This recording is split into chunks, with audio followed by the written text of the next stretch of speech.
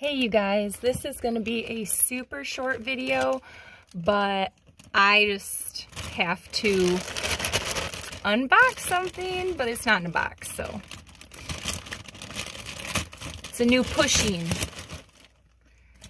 So where you guys are about to get the first glimpse of it. Oh my God, okay, I'm already in love with it. Oh my God. It's like even better than I thought it was gonna be. Here it is so far. let's get this bad dog open. Oh my gosh, you guys. Okay, first of all, I did not know the fur is like velvety and shiny. Holy crap, you guys. Like every time I think I can't get like an even, yep, and then there's the tag. It's that, uh, the holographic one that moves where he wags his tail. Oh my gosh.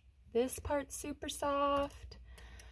Oh, it's so soft. And the color is amazing. But like, yeah, see, look at the fur. Look at the quality of this fur. It's that kind where it kind of does that a little bit.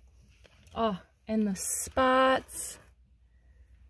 The craftsmanship is there, people. And that cute face. I love the way the blue looks with that cute face.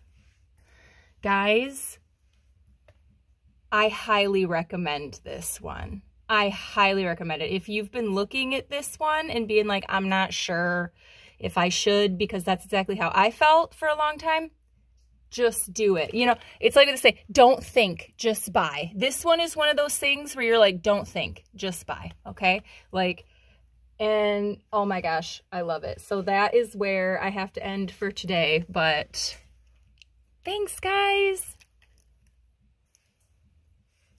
Don't think, just buy.